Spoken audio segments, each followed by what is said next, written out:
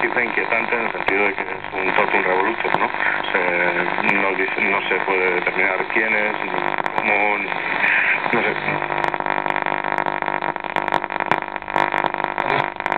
También un compañerismo uno de los asaltantes, Nelson Souza. Flavia, ¿quieres añadir por Es muy probable, es muy probable.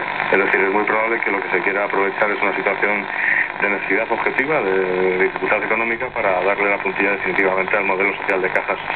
Y nos arrepentiremos en el futuro de que se haya desamortizado este, dificultades en la M40, quizás algo más de lo habitual en la zona este, prácticamente desde los